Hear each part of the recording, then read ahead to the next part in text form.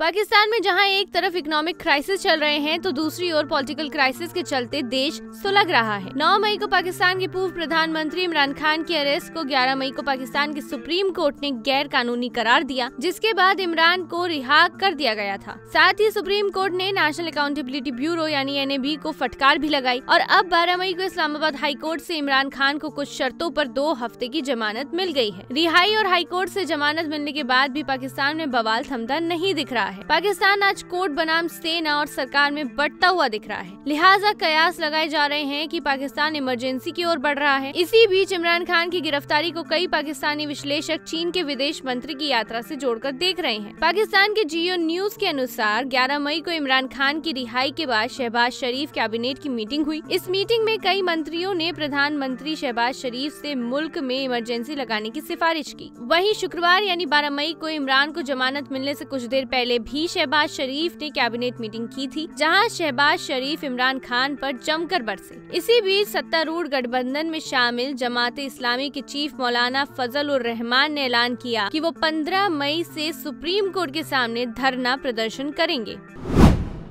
पाकिस्तान के पूर्व प्रधानमंत्री इमरान खान पर राजद्रोह, आतंकवाद और हिंसा भड़काने जैसे गंभीर आरोप लगे हुए हैं, जिसके लिए इमरान लाहौर से इस्लामाबाद कोर्ट में पेश होने आए थे। इमरान जब अदालत में बायोमेट्रिक प्रक्रिया कर रहे थे, तभी सेना के जवानों ने कोर्ट की खिड़की को तोड़कर वकीलों और सुरक्षा कर्मचारियों की पिटाई करने के बाद इमरान को गिरफ़्तार कर लिया। हालाँकि पाकिस्तान के गृह मंत्री राणा सनाउल्ला के अनुसार पूर्व प्रधानमंत्री को अल कादिर ट्रस्ट केस में गिरफ़्तार किया गया है। पीटीआई प्रमुख की गिरफ्तारी के बाद से पाकिस्तान में तनाव जैसा माहौल हो गया है। इमरान के नाराज़ समर्थकों ने कई प्रमुख शहरों में हिंसक प्रदर्शन तक किया। नौबत ये तक आ गई कि सरकार को देश की राजधानी इस्लामाबाद में धारा 144 तक लागू करनी पड़ी। पाकिस्तानी मीडिया रिपोर्ट्स के मुताबिक, पेशावर में इमरान खान की गिरफ्तारी के बाद प्रदर्शनकारियों की पुलिस ऐसी झड़प हुई और उन्होंने रेडियो पाकिस्तान की इमारत समेत पेशावर की कई इमारतों में आग लगा दी। आज हालात ऐसे हो गए हैं की पाकिस्तान की सेना को कभी पसंद करने वाली आवाम आज उन्हीं के खिलाफ सड़कों पर उतर गई है। इस्लामाबाद से लेकर खैबर पख्तूनवा तक पूरे पाकिस्तान में तबाही जारी है। इमरान खान के समर्थकों ने पब्लिक प्रॉपर्टी तो छोड़िए, सैन्य ठिकानों तक को जलाकर खाक कर दिया है। सेना के ठिकानों पर हमला किए जा रहे हैं। लोग पत्थर, डंडे और मशालों से हमले कर रहे हैं तो पुलिस आँसू, गैस, रबर बुलेट और असोल्ट राइफल का इस्तेमाल कर रही है। आपको बता दें कि इमरान खान को इस्लामाबाद के हाई कोर्ट से 9 मई को गिरफ़्तार कर लिया गया था। वहीं 10 मई को पाक के पूर्व विदेश मंत्री शाह महसूद कुरैशी को भी गिरफ़्तार कर लिया गया। साथ ही पीटीआई लीडर फवाद चौधरी समेत पार्टी के करीब 1900 नेता कार्यकर्ताओं को हिरासत में लिया गया। इमरान की गिरफ्तारी के बाद इमरान के समर्थकों ने देश में जगह जगह प्रदर्शन किया। प्रदर्शनकारियों ने सरकारी कार्यालयों, सेना के ऑफ़िस समेत कई जगह पर आगजनी और तोड़फोड़ की, जिसके बाद सुरक्षा बलों के साथ झड़प में आठ लोगों की मौत हो गई है और करीब 300 से ज़्यादा लोग जख्मी हो गए। कराची, पेशावर, इस्लामाबाद, रावलपिंडी जैसे बड़े शहरों में कोहराम मचा। चारों तरफ़ आग ही आग नज़र आई।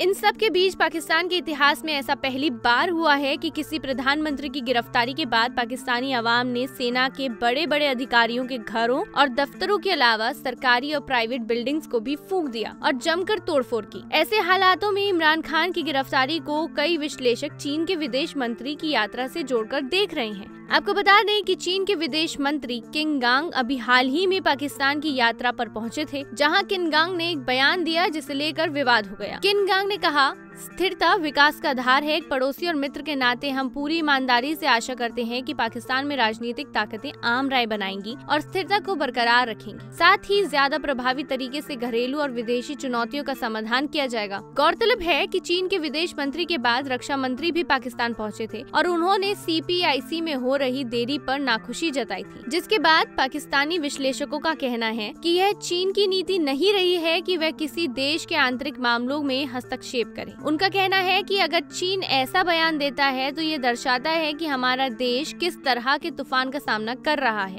गौरतलब है कि चीन के विदेश मंत्री के इस्लामाबाद से स्वदेश जाते ही पाकिस्तान में इमरान खान के खिलाफ एक्शन शुरू हो गया।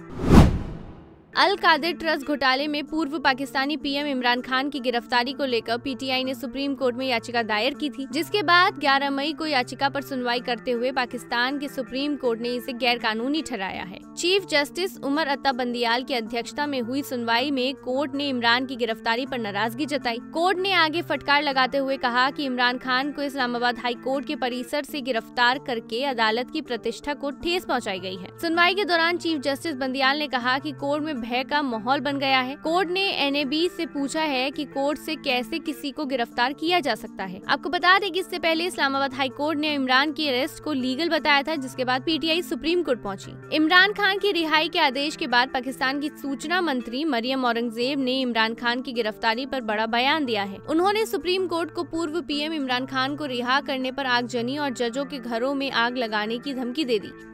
एन नेता मरियम ने एक प्रेस कॉन्फ्रेंस को संबोधित करते हुए कहा कि पीटीआई समर्थकों के विरोध प्रदर्शन में शामिल, सशस्त्र प्रदर्शनकारियों और आतंकवादियों ने देश और राज्य की संपत्तियों पर हमला किया है। मरियम ने सुप्रीम कोर्ट पर सवाल खड़े करते हुए कहा कि ऐसा लगता है जैसे हाई कोर्ट एक अपराधी, आतंकवादी और सशस्त्र समूह का नेतृत्व कराने वाले एक गैंगस्टर को राहत दे रहा है। उन्होंने कहा कि पहले भी कई पीएमएल नेताओं को गिरफ़्तार किया गया था, लेकिन किसी ने भी कभी कोई सवाल नहीं उठाया था। इस पूरे मामले में मरियम नवाज़ शरीफ ने भी इमरान खान की रिहाई वाले आदेश पर सवाल उठाया। उन्होंने कहा कि कोर्ट ने एक क्रिमिनल को छोड़ दिया है। मुझे लगता है कि जज को भी पीटीआई ज्वाइन कर लेनी चाहिए।